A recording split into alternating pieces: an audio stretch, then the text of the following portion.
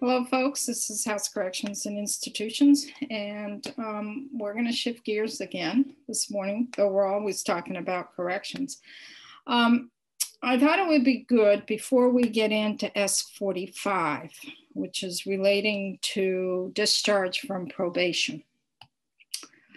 Um, I thought it would be good for the committee to have a probation 101 to figure out, we did parole this morning. Parole, if you remember, is on the back end. It's folks reentering after an incarcerated sentence, and it's through the parole board. Probation is on the front end of the criminal justice system.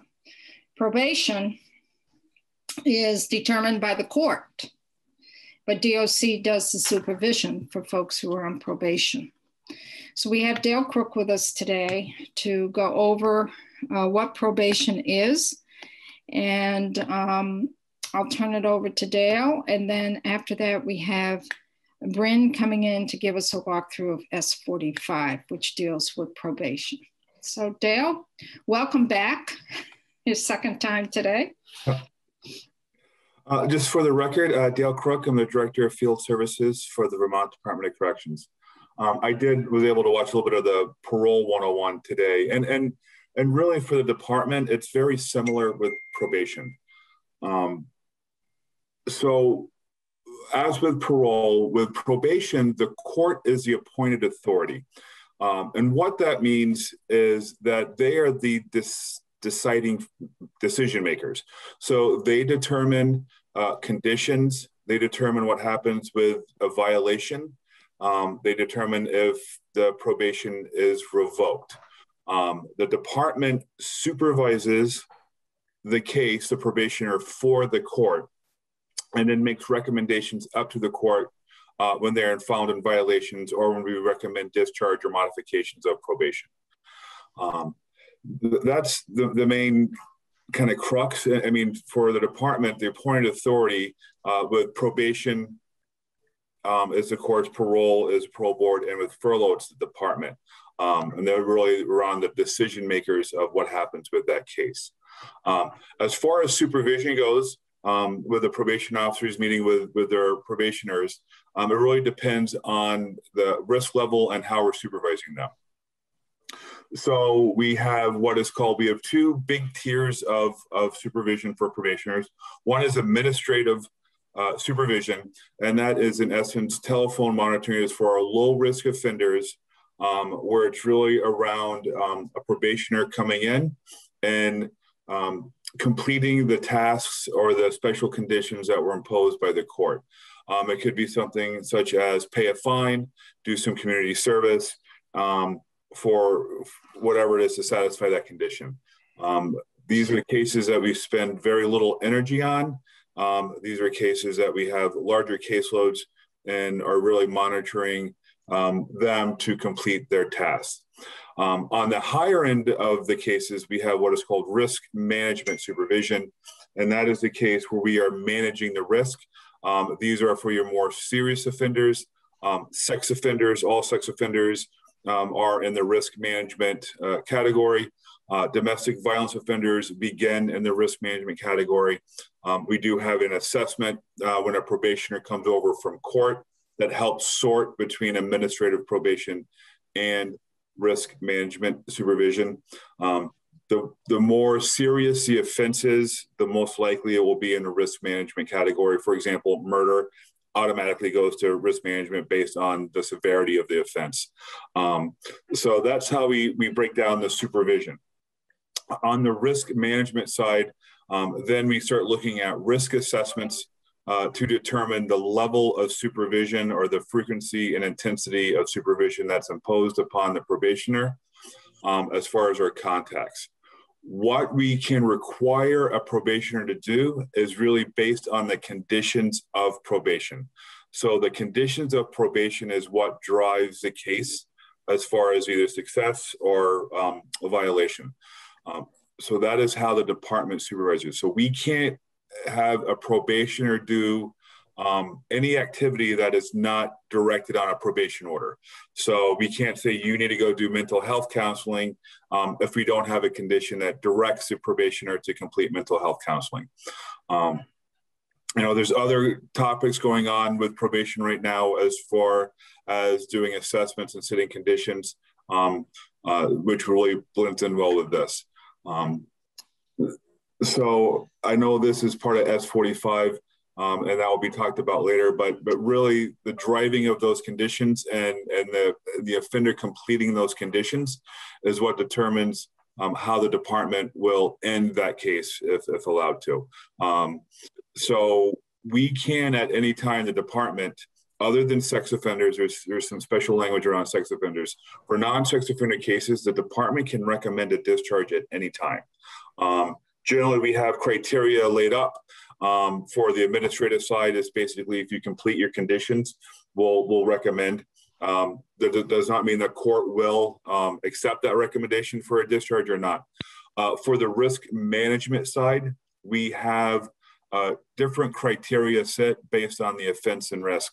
Um, so for domestic violence offenders, there is the ability for us to discharge, but they will have to complete um, all their conditions of supervision, have a period of supervision uh, without incident, uh, be determined uh, to have addressed their risk to the public uh, before we would look at doing a discharge of, of that nature.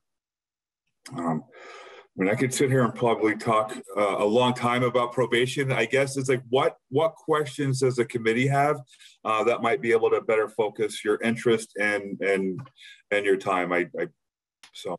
So I have a question. I started asking it, and I was on mute. Um, who you just talked about the risk management piece and the other part of probation and and the discharge. Yep. Who does the discharge from probation? Is it DOC or is it the court? So we make a recommendation. So the court is is a decider. So this is the court's case in, in, essence. That's what probation is. Probation is a sentence that has been suspended. Um, so if the probation gets revoked, the offender could serve what that sentence is. But the judge and the court is the one that makes the determination. The state's attorneys will argue on one side for the state, the public defender will argue, or the defense will argue on the other side as to guilt or not guilty. But it's really ultimately down to the judge that will make that determination the department will make recommendations. So when we file a violation of probation, it's a recommendation and a notice to the court that a probationer has violated their conditions of probation, and we may or may not make a recommendation as to resolve that. It could be anywhere from a partial revocation, addition of, of, of uh, added conditions to help better supervise, or it could be a full revocation. As far as discharge, it's the same thing we will indicate that the offender has completed the following conditions of supervision, um, and we would make a recommendation for discharge. And that's really, uh, and it goes off to the, the, the, the originating court to make a determination. And that's where the state's attorneys and the defense attorneys may get involved to either argue, the state's attorneys could argue the discharge, they could accept the discharge, um, and then the courts would make the final determination. So it's all it's all under the jurisdiction of the court yep. in terms of, of someone is released from probation or not.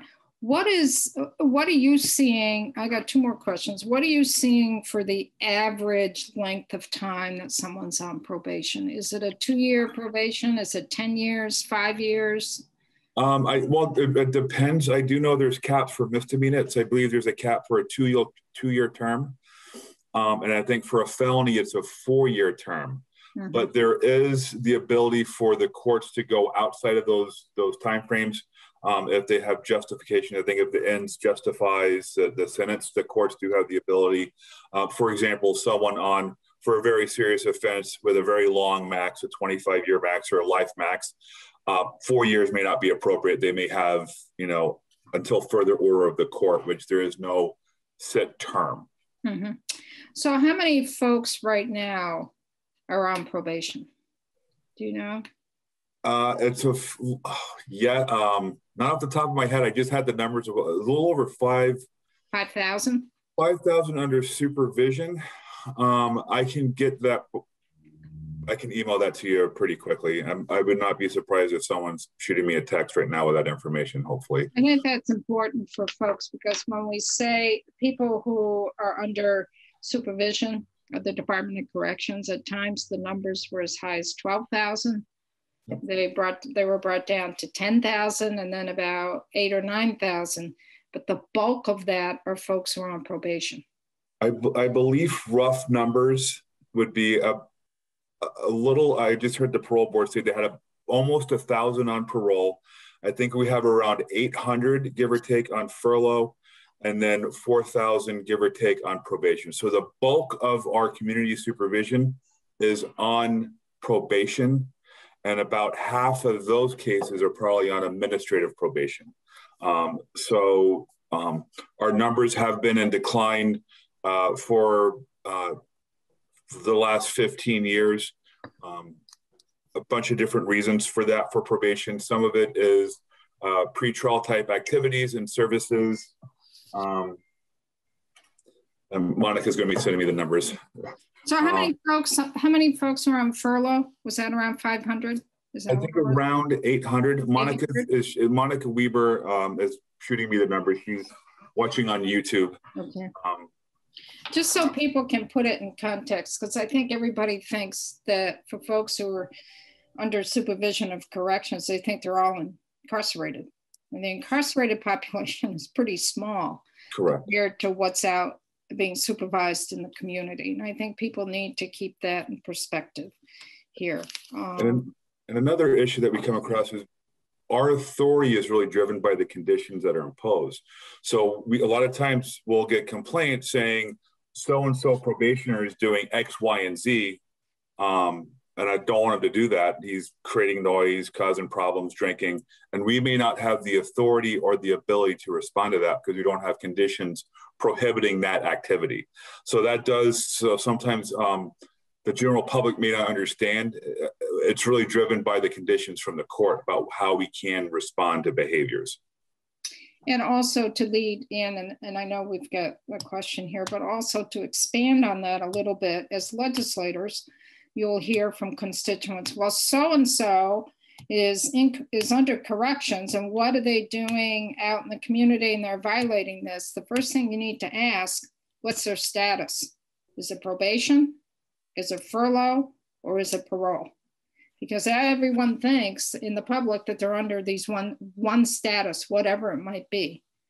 And there are different conditions that are set for the different statuses based on the risks and also who has um, jurisdiction, where probation's the court, furlough is corrections, parole is the parole board. And everyone thinks that it's um, furlough, everyone thinks it's corrections. I've got somebody at the door, so Karen. Yes, hi Dale, thanks for being here. Um, and I appreciate the comparison to parole since we just heard that. So it's easy to kind of put them side by side. And um, so I can see how there's similarity in folks um, have the status and then they're monitored, you know, if they can maintain it or not. Um, I guess for me, in hearing it, like for folks with parole, in order to maintain or get to that status, they need to meet certain criteria, but they're within a fixed setting of being incarcerated where there's kind of a guarantee that programming is going to be available, um, different offerings, supports are going to be available in the facility so they can meet those. I am curious if our communities across Vermont have that same um, equal access. Um, is all of the state covered well with programming, supports, opportunities? So somebody who's on probation in I don't know, some town here is it kind of different for them to be able to maintain their probation status versus in another area of the state that might not have the same supports and programming? I'm wondering if you could speak to that. So, uh, can I interrupt just one second, Dale? Yes. Sarah, can you take over? I've got someone at the door that I have to take care of for a little bit. Yep. Okay, thanks. So um, we, we do have a rural state and there are um, some areas of the state, such as Burlington, that have much more offerings as far as services available. Um, every, every, every district uh, office we have has a designated agency in their district. Um, and it really determines on what is the capacity that that they had to offer the different services. Um, and generally speaking, most sites will have uh, access or we're working on access to sex offender treatment. We'll have access to uh, domestic violence education or batterers intervention program. Um, one thing that we are, are starting to explore now with our departmental uh, risk reduction programs is tele, I think they call it telemedicine, but uh, teletreatment, where um, as we're not having in person, we are we are working um, not just the department, other other providers with with um, a virtual sitting uh, as far as delivering services. Um, you know that is that that that could be beneficial as things start opening up. And um, what that does, it allows smaller, more rural counties to, to offer more more services. Um, uh, just the fact that you know we try to specialize in, in, the treatment that we have, and a lot of that's based on numbers. Uh, so sometimes it's hard to have a woman's program in, in Newport or a very small county because we just don't have the numbers as opposed to Burlington, which may have the numbers to, to, to accommodate a group. Um, so we have two two kind of kind of sections of, of services. One is departmental, um, and it depends if those probation conditions address us to do those specific risk reduction programs, um, or there's also the community providers, and and those are going to be um, at different levels across the state, depending on on on their ability to meet the needs. So the, so there is a disparity between the areas. Um, Thank you so. for sharing that, and it's also mm-hmm. helpful to hear that you are doing some things to you know address it and i just think that's something for us as a committee to be aware of too thank you Great, thanks, um, Karen. Um, Kurt, you had your hand up. Yep. Um, yes, I understand that the, the probationer is supervised by DOC, but the decisions are, or the big decisions are made by the courts. At what point, or is there a point where the probationer is under the care and custody of DOC or not? So um, a probation a sentence can be partially suspended. So, for example, someone has a two to 10 year sentence, um, it's all suspended but one year. That suspended part, that all but one year, will be served in a correctional facility. So, they would serve one year in a facility and then come out to probation. So, they would be released onto probation, not on furlough. And then they would have the remainder of that probated sentence uh, to serve. So the two to 10 would, in essence, be a one to nine, as you already would have a year of credit for the time served in the facility. But uh, so that person would be under the custody of DOC for the 10 years. Yes, while, while they're on probation, they'd be under the, the supervision of the department. A person, okay, um, a person who comes straight from court to probation is also under the custody of DOC. Correct. Okay. All right. Oh, another a question on the community services and the, the risk reduction programs. Are they are there wait lists now for those or are they adequately staffed such that you can get people into those if, if they do exist or um, not? The, the COVID COVID situations have kind of impacted that, and so I'll try to speak in a non-COVID way, if that's that makes sense, because everything has been kind of thrown out out the out the window right now with, with COVID. Everyone's trying to manage the best they can. Um, one of the the pushes from our commissioner, Commissioner Baker, has been that there has not been the adequate level of services in the community provided to address the needs of our population. Um, you, you, know, I can give you examples. There are services out there, but a lot of times they're either not um, focused or, or geared toward dealing with people that are criminally justice involved. Um, they may or may not be uh, best situated to deal with mental health, personality disorders, uh, situations of that of that nature. There could be a capacity issue. Um, where they, they cannot get enough providers um, in, a, in a certain area. This is generally speaking across the state. Um, you know, for example, we don't have any long-term residential treatment facilities, um, as some other states do. So, so one of our biggest pushes to the justice reinvestment, and I think uh, CSG has also kind of indicated this as well, is that that we're kind of lacking some of the capacity um, out in the community. And do you uh, have any suggestions on the solution to that? Is that is that a question of money, or is it a question of uh, labor, or what can we do to fix that? Well, I think justice reinvestment is is is starting um, the the state down that path. Um, there are series of trainings and recommendations uh, from CSG as far as uh, networking better with the community providers, uh, better assessments uh, for the population that we serve uh, to, to hook them up in better uh, situations out in the community. Um, part of it is, is probably going to be a resource issue where um, we need to expand the capacity of, of our designated agencies and other services and treatment providers out in the community to better match the needs of our population.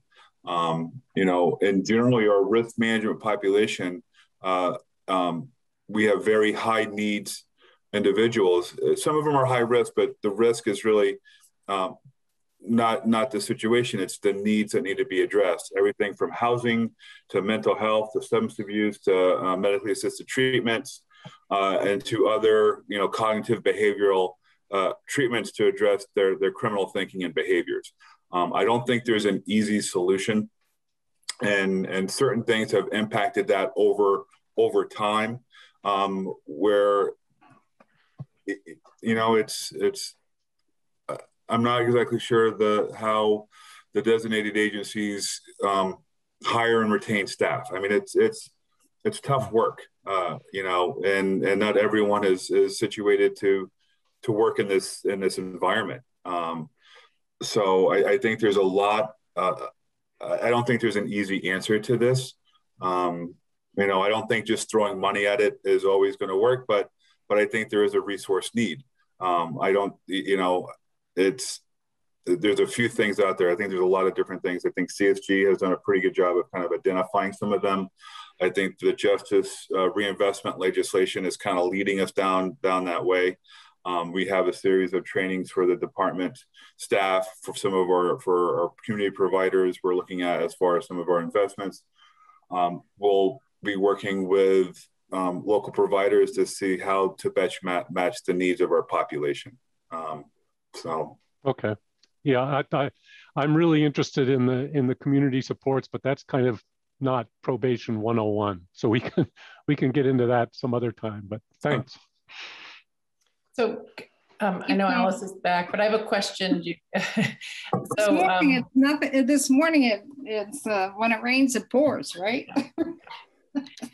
so I had a question, Dale. It's kind of to follow up on something that rep- questions that Representative Dolan and Representative Taylor had. You know, we it's um, the work that the working group within the, the, the that's been working with the council and state governments has really been Matt, Matt, you know, has identified the geographic disparities um, around these services. And I'm just so glad to hear your active involvement in that. And do you know when the next report is is scheduled to come out? I'm just wondering. Um, and the council of state governments? Yeah, just with that working group, because to you know what, what I think you're hearing in the committee that there is, we see the connection between you know a the success of people on probation, you know, is linked to the the supports and services in the community that can support that work. So um, um, I think they are kind of inextricably linked. Um, so I'm just curious when that next report is coming out. I am not sure, but I do believe that uh, CSG is on later today. Um, okay, that's right. So you yeah. could probably directly ask them. I do. I I think we do have the the big group will have meetings, additional meetings. I don't know. I can't remember when um, the JRI JRI team is meeting again. Yeah, you know, it's been they've been a group. Your group has been doing really great work. Um, Thank you. Um, and uh, Madam Chair, I do have the numbers, uh, uh, Monica. So on furlough, we have about 549 individuals on furlough right now. Um, parole, we have 899. We have 2,900 individuals on probation. Uh, so the total field count is 500, 5,348. Um, and that includes uh, about 577 that are on work crew, um, which is kind of stagnant right now because with COVID, we have closed down our, our work crew programs at this time. Um, and, and then we also have a couple of hundred um, interstate compact cases, either out or in. Um, so those are a little harder to track for us uh, how we how we have it set up. Um, those are the numbers, and and they have really have diminished um, greatly over the past year, but but but also over the past 15 years, there's been a, a steady decline. Um, um, you know, we were at 12,000 12,000 individuals under community supervision about 15 years ago, give or take. Um, and and through other activities, through legislation and changes in processes and uh, you know, reparative boards taking direct referrals. A lot of cases have been deflected from the department, uh, very appropriately have been deflected from the department. Um, uh, unfortunately, the, the more serious cases don't get deflected in those ways. So you've seen a lot of our shrinkage with, with the department and the population on really on those less severe cases that can be managed without um, having them come into the supervision of the Department of Corrections, where community justice centers can can deal with them, or reparative boards and other activities um, that really deflect them, diversion that deflects these cases coming to the department. Um, so really, the the number that we have, you know, the five thousand or so individuals, um, we would have had them 15 years ago, but we'd have another 5,000 uh, more lower risk cases involved with this. So really, so um, you know, the, the harder cases haven't really gone away, uh, so to mm-hmm. speak. So one thing that we did a lot of conversations about a number of years ago, Dale, was really looking at folks who are very low risk.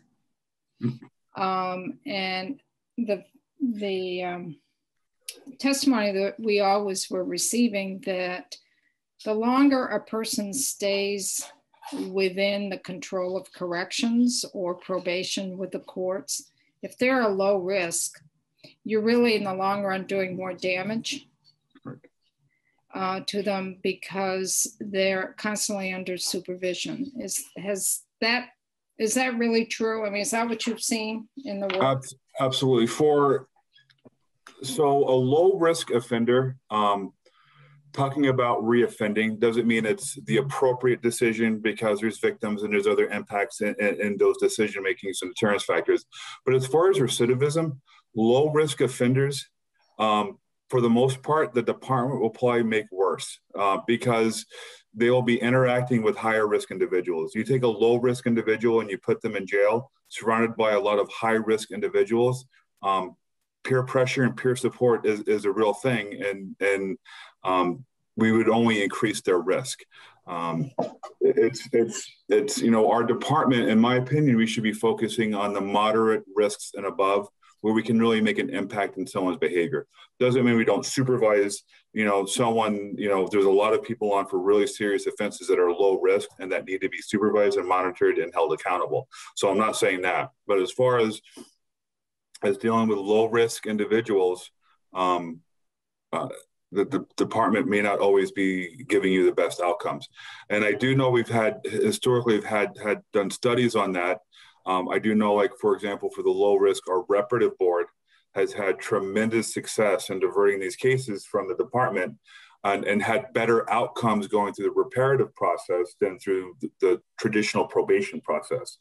Um, there have been studies from other states where um, they don't even supervise low risk offenders um, unless they're on for a listed, I don't know, listed, but a, a sex offense or a domestic violence offense. They won't even supervise them on probation. Um, so, so there's a lot of evidence and research out there, and I think CSG has done a good, good job of trying to bring some of that forward uh, as to as to really the impact um, that that supervising low risk offenders can do. Um, that's kind of essence why we have an administrative supervision is for those low risk offenders, those low severity offenders. Um, you know, most of them have jobs. Most of them are able to go out and do things. They don't need to to come in and see a PO and possibly miss a day of work. They don't need to to do other certain things. We can monitor them remotely, um, and and we have really good outcomes with with those low risk offenders because they'd be successful anyway. You know, an example would be we take anyone on on this committee meeting right now. If something, God forbid, something happened and, and you got in trouble. Um, there's not a lot the department is probably going to, most people I would assume are going to be low risk with, with minimal issues. Um, putting you in heavy structured environments is, may, may or may not change that behavior. Um, you know, so. so. So for some folks, throwing the book at them may make it worse. It, it will make it, well, I mean, the evidence has laid out that that it will make individuals, it will reduce their risk to reoffend. Um, Okay, so we have some couple more questions. Kurt and then Scott. Yeah, I'm um, wondering if you could just give a, a couple of quick examples going from um, what would be what you would do on minimum, the very minimal supervision for the lowest risk up to the high ones. How, what's the difference in the supervision, the actual behavior of the, the person who's supervising?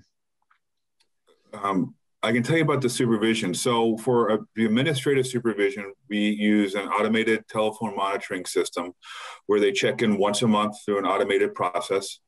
Um, and it's really it's it's it's set up where it um, the offender calls up and basically answers questions. Have you done? Have you paid your fines today? Have you completed this assessment? And then they send in the documentation where you verify that. Um, those are for heavy caseloads doesn't mean that they don't reoffend and pick up new charges and things of that nature. So it's really hard to, to kind of categorize their behaviors. But um, is that a is that an audit is that an automated thing? It's a it's a or are they actually speaking with a person when they're calling it's, it's, in? No, it's, telephone monitoring. Um, it's to an automated system where they call in at a certain time um, and they answer um, some questions that are pre-programmed into the system. Um, it's designed to, to manage large caseloads um, such as this. Uh, we have a very high call-in rate. I mean, it's, it's like in the 90% call-in rate, which which is I think is absolutely amazing that we have our population uh, calling in at a very high rate. Like it's in the 90 percentile. I mean, I don't think I make 90% of my meetings on time. So I mean, so that's really good, right? Um, and and it and it addresses um, you know, a lot of the evidence is is you apply your resources and your energies into those that are the highest risk and the most and the most risky, um, and that's what we do. Um, for someone that is at our highest level of supervision, we may or may not have them on electronic monitoring. We may or may not have them on an alcohol monitoring system. We will have field checks at their residence. Um, we will uh, see them weekly. We will have just more more intense and frequent contact with them. Um, and, and so that's kind of the spectrum. So your higher your risk, the more attention you get from the department. Um, and that's what the evidence tells us how we should how we should address it. And and and by activities, it's not necessarily just pure supervision. It's as you put them in in the right programming, you you you focus your resources on on that population to address the behavior. Okay, good, thanks. Uh, also, can you give me a rough idea of how many people a field officer is managing? So we do have caseload caps uh, set in statute. Um, and they range from for the administrative it's it's kind of this um, it's not really a set number. It's as much as administrative system can handle. We have that around give or take 300 uh, uh, around the cap. Uh, that depends. We have a lot of flexibility with that.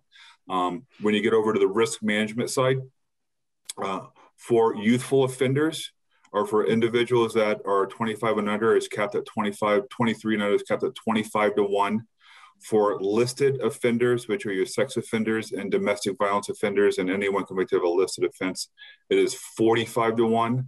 For a non listed risk management caseload, it's 60 to 1.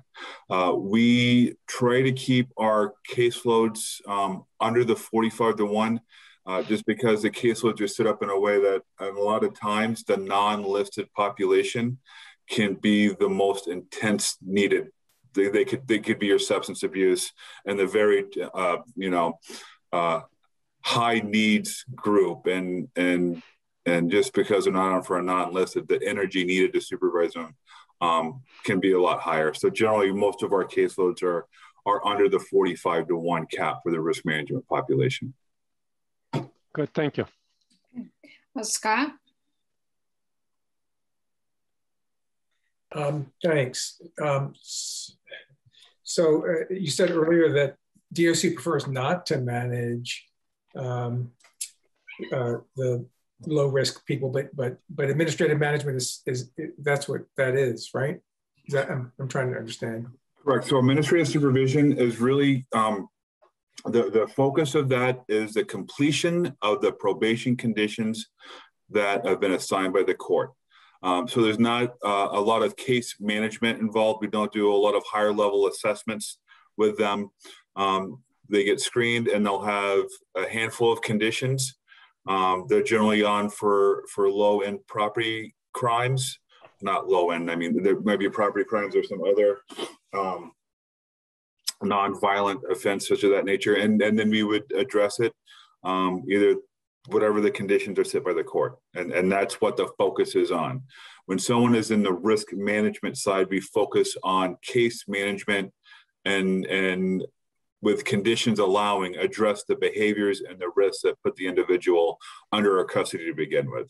That's that, that's a big difference. That's why it's important for probation conditions to best address the the needs of the of the population, um, and and that way. Um, we, we can focus our attention to, to behavioral change uh, much more um, driven in that way instead of just condition completion behavior change being with the medium and the high risk groups. Yes. Yes. Okay. Um, and you, then you also uh, seem to be making a distinction between low risk and and and low severity or, or of the of the offense. Correct. So can you uh, talk about that a little bit more? So so risk scores. So we we do risk assessments, which are actual tables, which would indicate that someone with the similar scoring would reoffend at a certain rate. So high risk generally would have someone that would have substance abuse issues, may have unstable living environments, uh, bad social economic uh, friends, uh, negative attitudes and beliefs. So so those so the risk scores are really driven to um, the the that set categories uh, probability of reoffending.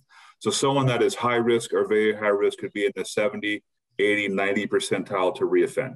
Um, so that is reoffenses around risk. It also drives the need. So a high risk most likely would have high needs and certain uh, domain areas of those risk assessments, mental health, substance abuse, housing, etc., uh, that would be addressed through uh, services to, to reduce that risk of the individual.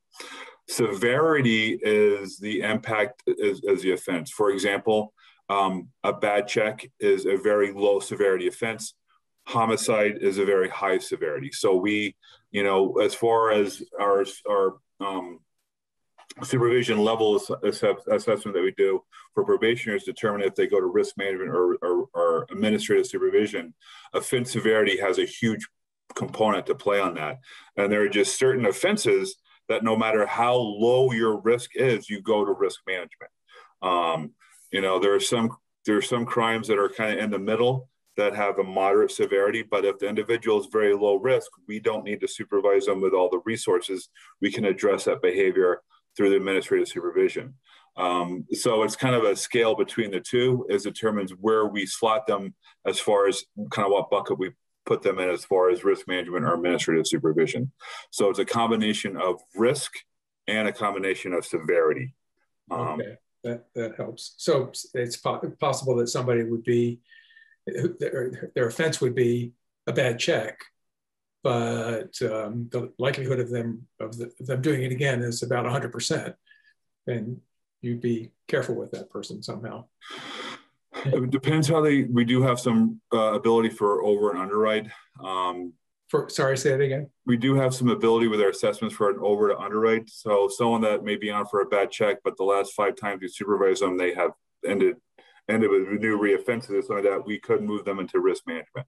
Um, it's really about trying. You know, the the goal with those sorters and those screens is to to make sure that we are applying the right level of intensity to the case that's appropriate. Okay, great. Thank you. And I think that's also true when you become looking at incarceration. And this low risk to reoffend, low severity of crime, moderate risk to reoffend, high severity of crime, all of those different gradients was all being looked at and started to be put in place back in the late 90s under Commissioner Gorczyk. And we were incarcerating a lot of folks taking up a hard bed at at that time it was like 30, 40,000 a year for low risk, low severity of crimes. They were taking up a hard bed. And Commissioner Gorczyk at that time said those folks should be repairing the harm back home in the community. They should not be taking up a hard bed. The hard beds should be taken up with those folks who have moderate risk, high severity of crime, high risk, high severity of crime. Those are the folks who really should be taking up a hard bed. The other folks, let's deal with them in a separate way so it's more restorative and more um, re- repairing the harm that was created back in the community. So those initiatives and that shift really started in the late 90s. And that's why now, for folks who are incarcerated, we're dealing with the toughest cases. Um, we're not dealing with those late DUI cases of DUI 1 or DUI 2. We're not dealing with those who are incarcerated now. As some folks from DOC said last year, it's going to take a lot for somebody to become incarcerated. And I don't remember who said that within DOC, but that was the testimony we received last year. So that's some of the history here in terms of what's happened within our correctional facilities. And Dale, you've been here for a lot of that. For that. Well, 12 years now I've been in this position. Right. So uh, Kurt has a question. I have to scoot out because I'm due for my second shot today at 10 of 12. So I have to scoot out. Uh, so Kurt has a question. We just had Bryn come on. Bryn is going to give us a walkthrough of S45, which is very similar in a way to earn time, sort of. For folks who are on probation, is there an opportunity, if they're really doing well on probation, to um, allow them to shorten their term on probation if they're complying with all the requirements. And this is a follow up from last year for the folks in our committee. We did a lot of work on this, and then we had Council of State Governments um, weigh in on it. And this is S45 as a result of that work. So I'm going to shift it over to Sarah.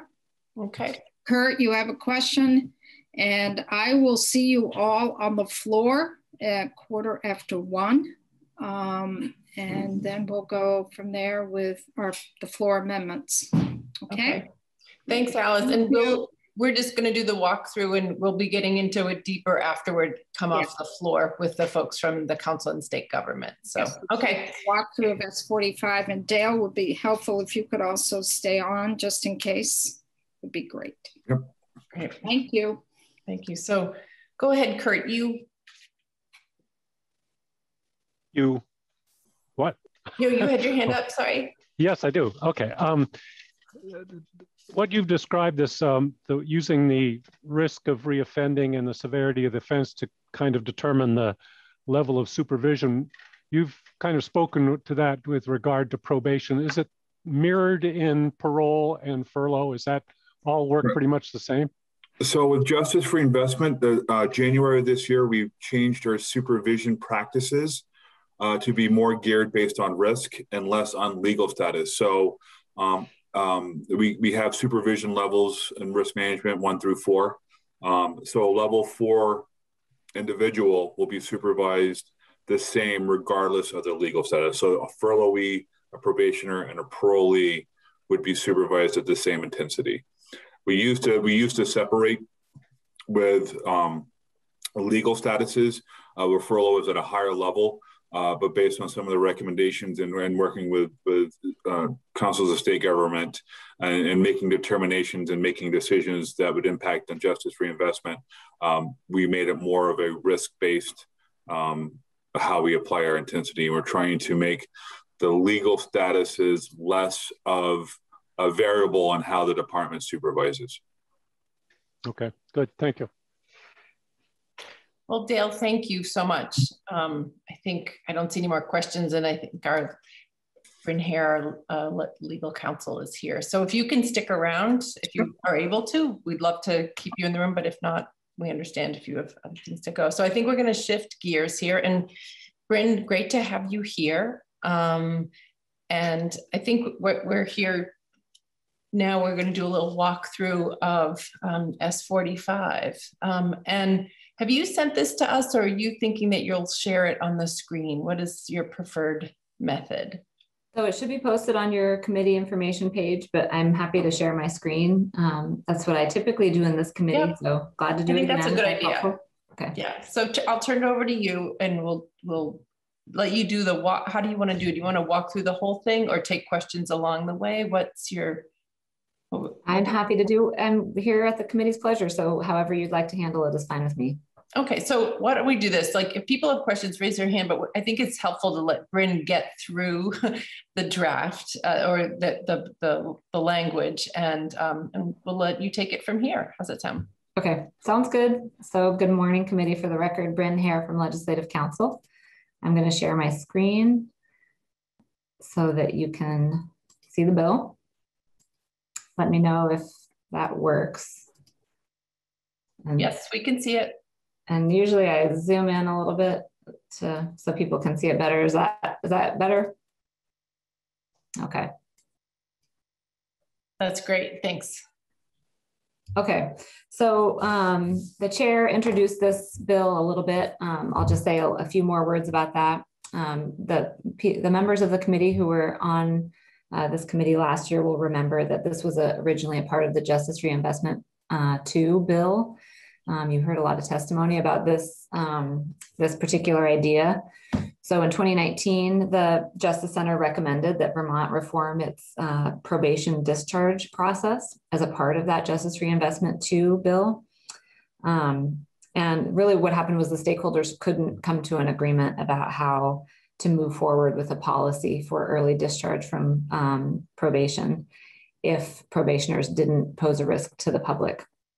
So this the policy that's set out in S45 really reflects um, a compromise that was reached by the stakeholders for a process to presumptively release probationers at the midpoint of their probation term if they don't pose a risk to the community or to the victim and if they're compliant with their programming that has to do with risk reduction and rehabilitation that's required as a part of their conditions of probation.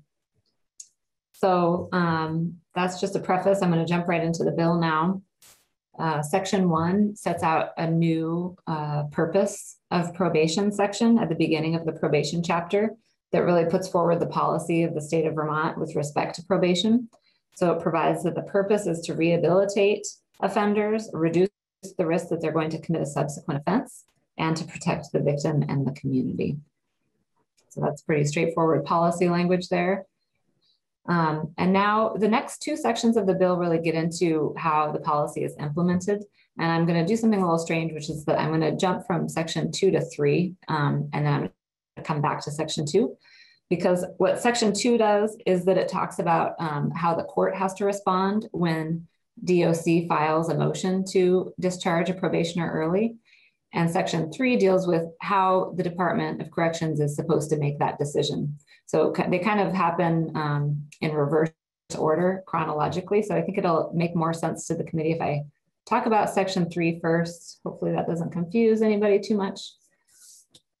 So I'm just going to scroll down to section three.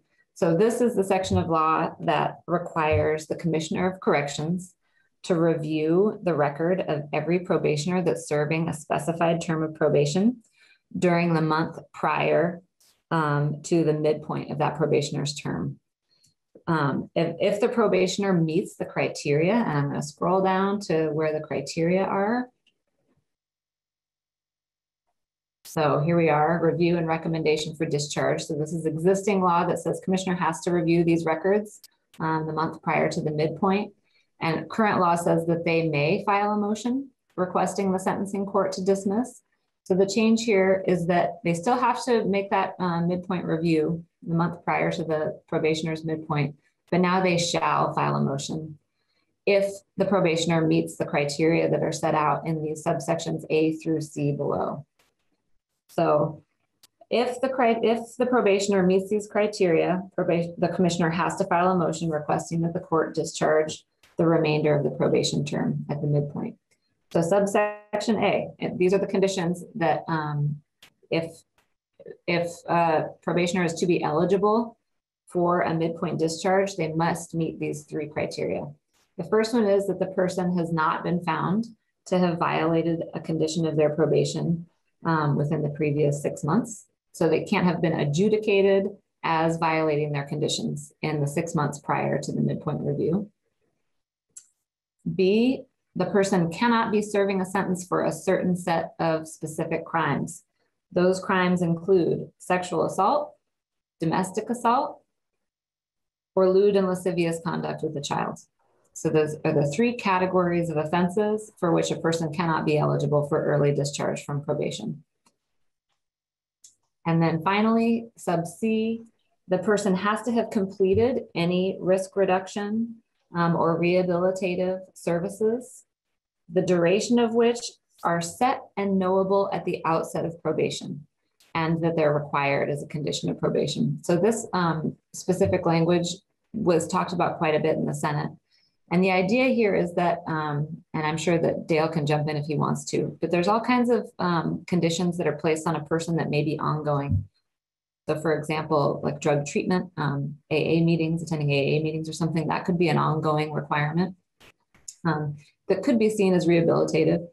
But the idea here is that any um, finite duration uh, services that are assigned and required as a part of the person's probation at the outset of probation um, have to be completed in order for a person to be considered uh, for a midpoint discharge. I hope that's hope that's clear. Nope, I have a question on that. I don't know. Did oh you wanted to wait till we go all the way through it? Oh, go ahead, Kurt. Why don't you ask the question? Um, can the conditions of probation change such that there would be new conditions added after the initial time that they were uh, set and knowable? This is probably a question for uh, Mr. Crook. They can be modified. Uh, the court can modify conditions after they originally been set, uh, but generally will take some type of action for that to happen. For example, a violation of probation could result in an amendment of the conditions of supervision.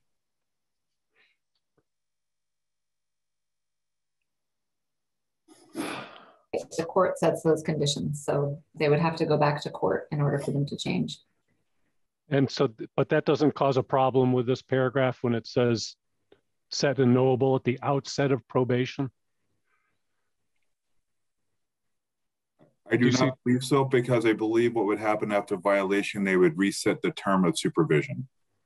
Ah, okay. Or they, or they could reset the term of supervision. Okay.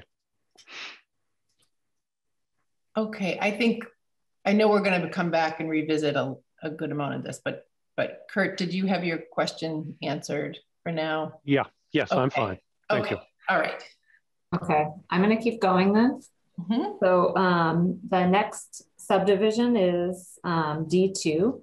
And this language here provides that if um, this is this sets out what happens if the person doesn't meet those criteria, or if the court um, declines the person for an early discharge, and we'll get to that part when we get when we go back to section two.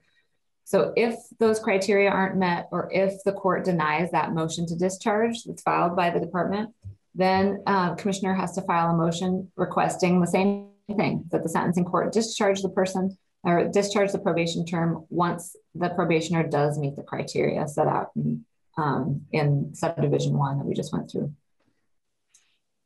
And then lastly, in this section, subdivision three, this requires the prosecutor's office to make a reasonable effort to notify any victim of record of any motion that's filed to reduce the probationer's term at the midpoint. And then it defines reasonable effort as um, contacting the victim by first class mail at their last known address and telephone at their last known phone number. okay, so now I'm going to scroll back to section two and talk about what happens um, once that motion is filed with the court and what the court's determination is.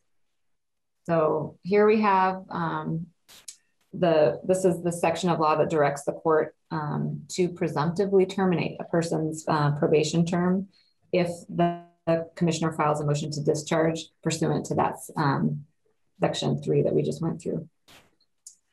So um, that you see that language in B1. So upon the commissioner's motion to discharge, the sentencing court shall terminate the period. That's the presumptive termination and discharge the person at the midpoint of their probation term, unless two things the prosecutor seeks a continuation of probation within 21 days of receipt of the commissioner's motion to discharge, and either either one of the following factors is true.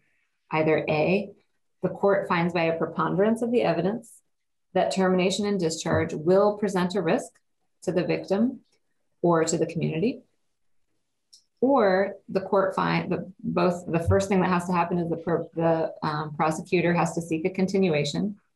And the court finds by clear and convincing evidence which is a, a higher standard of evidence that the probationer is not substantially in compliance with those conditions of probation that are related to their rehabilitation or to victim and community safety. So you can see this is kind of a mirror reflection of what um, the eligibility criteria is for the commissioner when they're doing their review. So this is kind of a second check that the court is going to take a look at this as well. And if the court finds that um, based on these standards of, of proof that um, either the, the victim or the community will not be protected if the probationer is discharged early, or if the probationer is not actually substantially in compliance with those conditions, then um, the court can deny and then you see here in the language in subdivision two, if the court does deny, grant the prosecutor's motion, deny the motion to discharge, it can continue probation for the full term um, as, it, as it stands or for any portion of that term.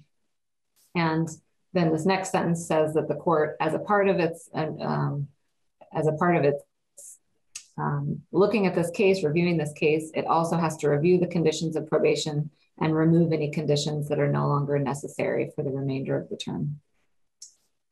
So Bryn, let me, I have a quick question myself. In um, subsections A and B, this, this is really like another layer or a, a, like you said, a, a second check on what DOC is doing. Like DOC will recommend uh, with this, this, this piece of legislation, DOC would recommend somebody to be um, uh, their conditions of on parole be what is it terminated rescinded? What is the right term? Right it provides that their their probation is discharged at the discharge okay and right. so this is just like another safe another safety check right? Another layer of protection. Yeah it's one way you can process, look at it. Sure because yeah. that language you can see that the language is really quite similar. The requirements are the same that um, you're and it goes back to section one which is laying out the policy for probation, which is to protect uh, the victims and the community, um, and also to make sure that an offender doesn't reoffend. And that's where the rehabilitative um, and risk reduction services and programming come into play. Okay, great. Thank you for that. Um, I see that um, Representative Morgan has a question as well. So why don't you go ahead, Michael? Okay. Uh, maybe I, am not sure if I'm getting ahead of you, Brent, but I'm just looking at 2C. Am I getting ahead of you? That's right where I am. So. Okay. Okay. So it talks about that, and you, you speak ineligible for just do if they haven't paid that back. Right. So the idea is and you know, going back to what what um, we were just talking about the the policy of probation, what the point of probation is uh, according yeah, to the I bill. just, I guess I just, I just kind of just missed that. Um, that's why I'm re-asking. Sorry, but I, no, no, I haven't, I haven't gone through that part yet. That's, Oh, okay, okay, I That's an was that. important. I couldn't Yeah. tell if you'd actually addressed it or not because I'm just No. reading that and it, it made me scratch my head a little bit with what, um, what would be the hammer, I guess would be the term I would use to see that that is made whole or made good, I guess. It- Right. The, are you talking about the restitution piece? Yes, So, yes. Yeah, sub C provides that if a person hasn't um, completed paying their restitution or um, fees or surcharges, that that alone shall not make them ineligible for that early discharge. Um, and so I imagine you're going to hear from some witnesses about this. Um, there was some conversation in the Senate about it. Um, and I, the conversation in the Senate really came back to the idea that the, the, the purpose of of probation is to protect victims and to reduce recidivism um, and not to keep people on supervision um, for failure failure to pay. So um, there is there is a person can be held in, in contempt if they don't pay their restitution. There are um, by removing the supervision that doesn't remove all um, means of ensuring that a person pays their restitution. Hmm. I'm just not convinced that that may happen would be my concern, but all so right. Michael, Michael, Yeah. what are, we, I know we're going to be discussing a lot more of that. Yeah, yeah, yeah. So- No, we'll, we'll get into it deeper. I, I Yep. just, yep, got it. All right, thank you. All right. Thanks, Bryn. I'm going to let you Okay. carry on. All right, so I'm gonna um, skip section three since we looked at that already. Sorry about the jumping around here. Um, and go down to section four. So this is a report that's required by the Department of Corrections um, uh, this summer, beginning this summer, I'm sorry. Um, so starting on July 1st of this year, it requires the department to collect certain data about this um, midpoint review process um, requires them to collect data on the number of probation discharge or probation term reduction motions that are filed by DOC. Um, keep track of the number of probation terms that were reduced or terminated as a part of this midpoint review process. Mhm. And keep track of the amount of time that's actually reduced from probation terms as a result of um, this presumptive mid probation term reduction um, by the court. And then they're required to report uh, to justice oversight in August of next year and the following year um, with the data that's been collected and any recommendations for further legislative action to improve the probation midpoint review process. And then lastly, um, there's a directive to the Sentencing Commission uh, during the 2021 legislative interim to review the probation statutes and also review the 2020 report of the Pew Charitable Trusts um, that found that states can shorten probation and protect public safety, and to consider whether Vermont should limit the duration of probation terms for misdemeanor offenses to two years. Um, currently, that we, we do not limit um, probation terms for misdemeanors to two years. And then it requires that in October of this year, the commission um, come back to Justice Oversight Committee with its recommendation on whether or not um, misdemeanor probation terms should be limited to two years. Okay. And then the effective date um, is July 1st. This year.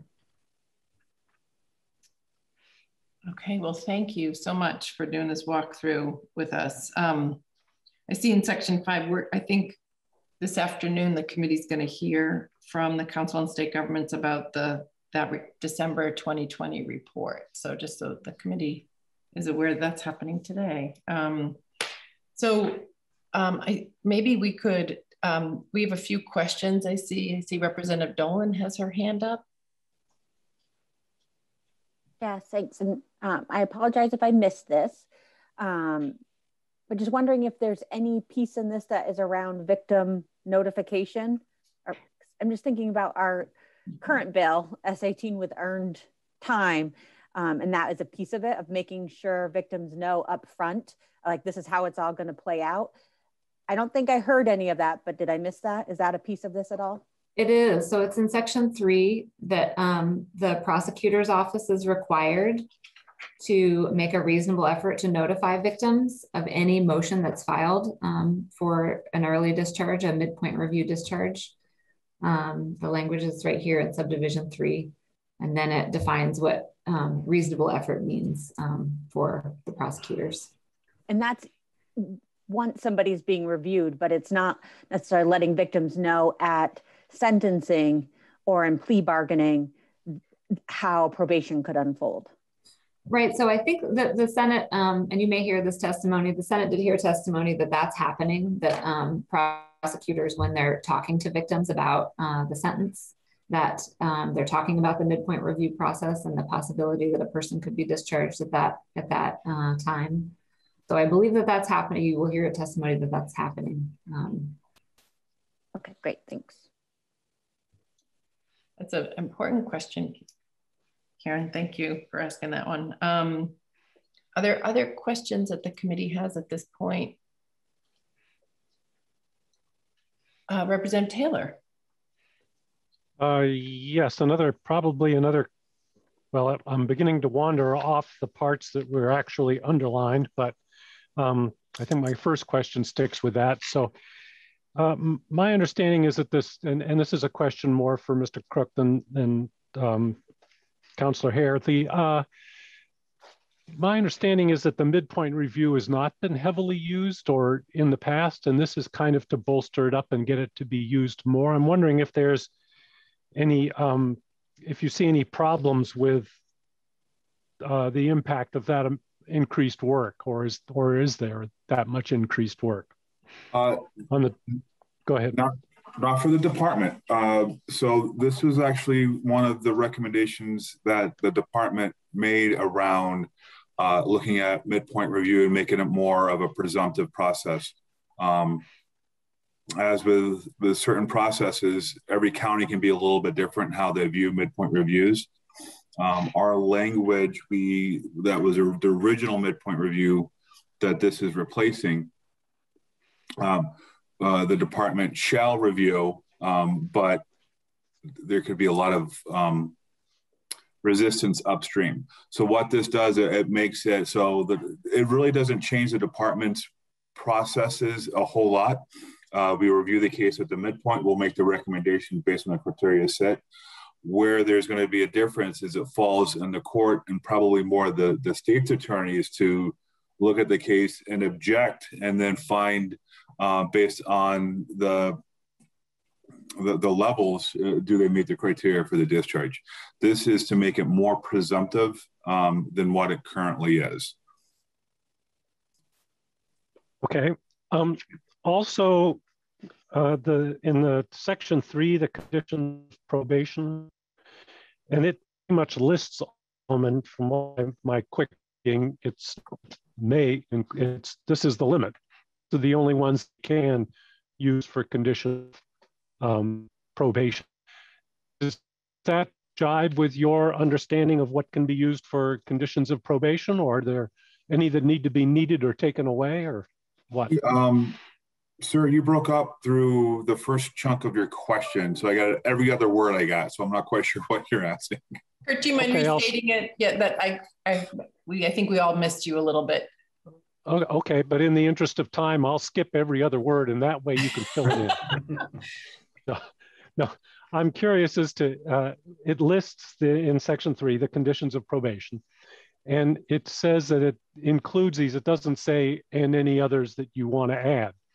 Do you think this list is comprehensive enough, or are there some that you think need to be added or taken away? With, with conditions of supervision are really, um, there's a lot of case law around conditions of supervision for probation uh, that have to meet certain uh, thresholds. They're really at the discretion of, of the court and generally done through plea agreements. Um, uh, so while there may be some standardized uh, language and and the statute, it's it's really uh, the conditions can be um, very tailor made for the individuals and through the uh, individual court processes. Um, so it's really it's that might be a better question for uh, Judge Grearson or the Matt Valerio um, or uh, John Campbell. Uh, okay. Good. Also, I would All just right. point I out that number 18 does provide that um, the court can require any other conditions that are reasonably related to the person's uh, rehabilitation. Ah, okay, there's the catch-all. Good, thank you.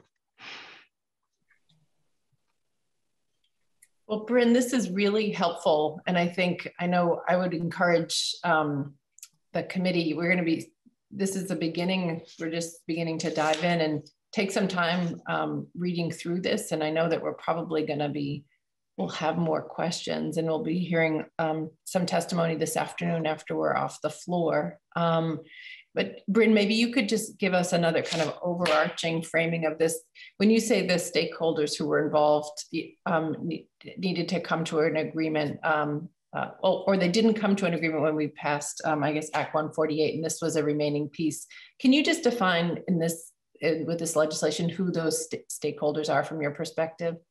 Sure. So Dale can chime in because I think that they worked um, they they worked together during the crafting of S45 too. But my understanding is that it was the department and the state's attorneys and um, the defense, the Defender General's office um, were the primary people who got together. And please, Dale, let me know if there And- were and I believe the the attorney- rights people also. Yep, I believe the Attorney General's office was there. I believe uh, Mr. Shear was there, and um, I do believe there was input from, um, and I, uh, uh, Fenno from the victims uh, advocate, okay. Chris Fenno. So there was a was a group um, that chimed in on this. Representing the victims, uh, the vic, um, Correct. Uh, and, and most of their language is around the notification. And then we had, and that's where the reasonable attempt to notify the victims um, of the record before an early discharge. Great. All right. Th th thank you for that. Mhm. Um, so, you know, I think if if there aren't any other questions, I think um, i w- I'd like to wrap up because we have a bill on the floor, and I want everybody to have lunch, and um, and people can uh, maybe take some time and read over read over this. Um, and I know I'm sure there'll be more questions. So, um, unless there are other questions, I want to thank you, Bryn, for joining us. It's always lovely to have you in our virtual committee room. My pleasure. Thank you, committee. All right, thank you. Thank you, Bryn. All right, so I think we can, I think we can wrap up off on off of YouTube. We'll be back, or depending on how long we're on the floor. Um, we're scheduled to be back in here. I think it's at two thirty. Um, we'll be having um, some folks from the Council on State Governments um, uh, present the, their two um, documents that have been posted to our webpage that they'll be working through with us.